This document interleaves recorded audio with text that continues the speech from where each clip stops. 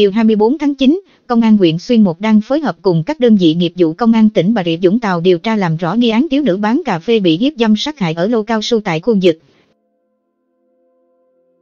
Theo thông tin ban đầu, rạng sáng cùng ngày, một người dân đi cạo mũ cao su xã Phước Tân, huyện Xuyên Mộc, tỉnh Bà Rịa Vũng Tàu thì phát hiện một thiếu nữ không mặc quần áo đang trong thời kỳ phân hủy. Người này hô quán và báo công an. Công an có mặt khám nghiệm hiện trường, lấy lời khai, điều tra làm rõ vụ án. Công an xác định nạn nhân là MV, T, N, Y. 16 tuổi, ngụ huyện Châu Đức, là nhân viên một quán cà phê trên địa bàn huyện Châu Đức. Người thân cho hay, cách đây 3 ngày, em y về lấy xe máy nói đi chơi với bạn. Sau đó, em y không về nhà, gia đình gọi thì không liên hệ được. Sáng cùng ngày, gia đình trình báo công an thì nhận được tin báo về việc phát hiện thi thể con em mình.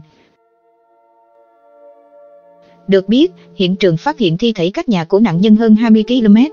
Vụ án đang được điều tra làm rõ.